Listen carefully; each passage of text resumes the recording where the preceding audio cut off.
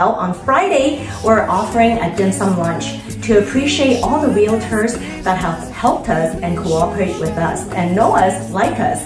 Please come or RSVP to our Friday dim sum lunch. Thank you so much and happy holidays! Happy holidays! Happy holidays.